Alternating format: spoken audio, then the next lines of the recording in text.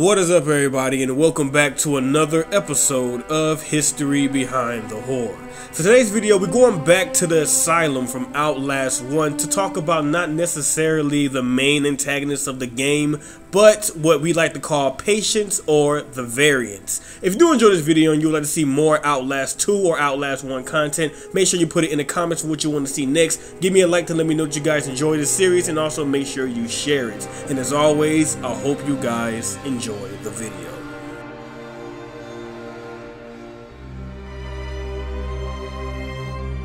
The phrase variant is a derogatory term frequently used by Murkoff personnel which denotes the patient's heavily disfigured and mutilated appearances due to a number of failed experiments that were conducted on them. This term was first used by Stephenson within the first game when Miles encountered him on the brink of death. They killed us. They got out. The variants. You can't fight them. You have to hide. You can unlock the main doors from security control.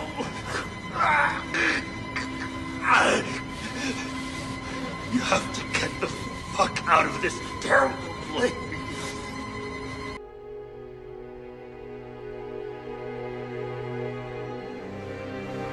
Variants are the results of the exposure of patients from Mount Massive Asylum to the morphogenic engine created by former Nazi scientist Dr. Rudolf Wernicke. The after effects of the therapy altered their minds and provoked physical deformities. The outcomes of those affected can't be determined, thus giving those afflicted the name variants. Most of the variants have pale skin and mutilations, likely having to do with the experiments they were once exposed to. They differ in ways. While some are thin and weak, others are massive and brutally strong, such as Chris Walker, who is a commonly seen variant in the first game. Their clothing ranges from standard psychiatric attire to ripped and torn shorts. The twins, however, are naked.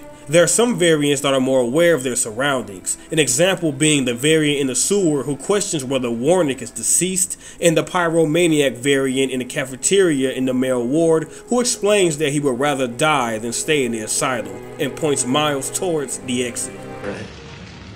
All of it. Murkoff took so much from us, used us, turned us into these things because nobody cares about a few forgotten lunatics. So let it burn. Burn the whole goddamn thing down. Get out. One way you get kitchen. There are also variants who are not permanently hostile and attack only if the player moves into close proximity. Variants who assist or hinder the player with cryptic hints or stories, and variants who ignore the player completely.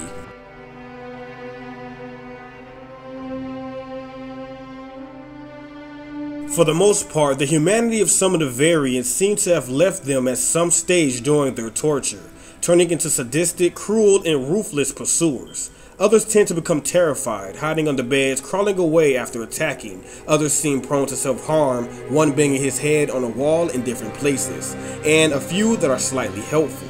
Some variants seem to be followers of Father Martin. Among their abilities is their physical strength and stamina, being able to smash doors, pull out organs, destroy reinforced glass, and chase after victims. Even though most of them act in unexpected ways, many are capable of high reasoning, proven when they execute plans such as tracking down Miles' hiding spots and listening for sound. Some of them even set up ambushes. Such variants include Richard Trager and the twins, who opt to opening and closing doors rather than bashing them down like other variants such as Chris Walker.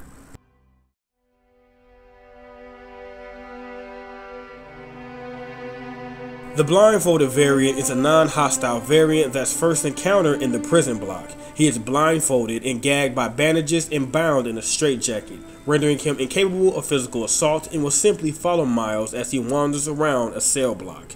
He will often comment on how Miles looks silky and complains about an itch, among other disjointed phrases. A variant in the hospital appears with a similar blindfold and gag and speaks the same dialogue.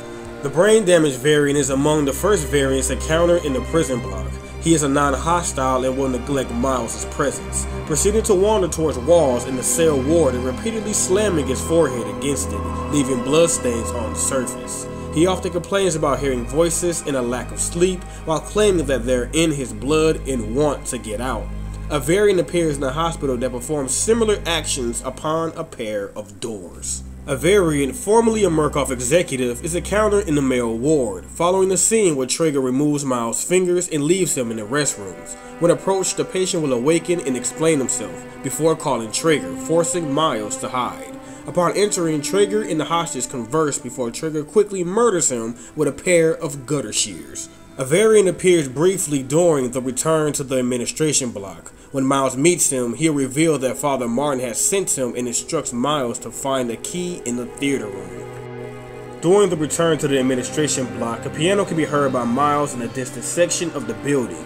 As Miles continues, the music will slowly grow louder until he passes a corridor and passes a boarded up door.